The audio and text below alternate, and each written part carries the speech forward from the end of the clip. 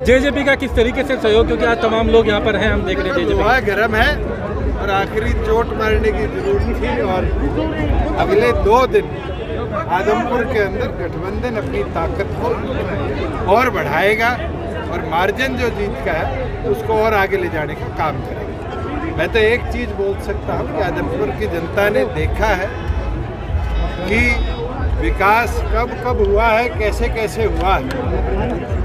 और उस विचार के साथ आदमपुर की जनता अपना सहयोग और समर्थन करने का काम करे कांग्रेस को कहाँ देख रहे हो इस चुनाव में? क्योंकि कहना कि वो तो हालाँकि जीत का दावा कर रहे हैं कड़े मुकाबला है कांग्रेस थकी हुई है मरी हुई है।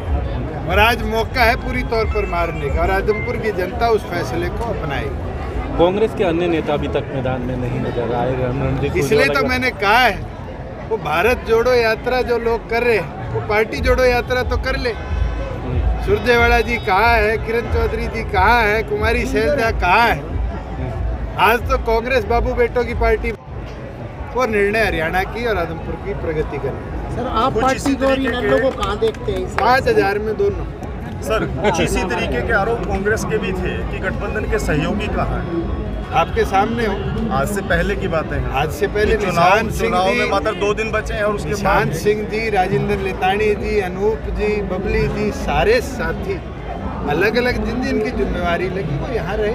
सवाल सवाल अगर दुष्यंत का आना आप पूछ रहे हो तो मैं तो इलाहाबाद भी दो दिन पहले ही गया था और बड़ौदा भी दो दिन पहले ही गया था। और आपने खुद नतीजे देखे। जहाँ जिम्मेवारी मेरी लगती है गठबंधन के तौर पर उसको मैं पूरा दिला हूँ और ये विश्वास दिला देता हूँ हमारे यार। कि हमारा जो मार्ग में उनको मौका नहीं दिया गया। हालाँकि उनके पास कैंडिडेट नहीं थे कैंडिडेट कहीं और से उठाने पड़े। ऐसा जननायक जनता पार्टी, भारतीय जनता पार्टी को मिलकर तीनों इलेक्शन में ये निर्णय लिया दोनों सीटों के अंदर जहाँ उपचुनाव पहले हुआ, भारतीय जनता पार्टी के कैंडिडेट के जेजेपी के कैंडिडेट से ज़्यादा वोट आए। और इस बार, क्योंकि कुलदीप बिश्नोई जी खुद रिजाइन कर कर इस सीट पर आए तो हमने ये निर्णय पहले ही ले लिया था कि जो भारतीय जनता पार्टी की ओर से, उनके परिवार का कोई भी कैंडिडेट बने उसका हम साथ।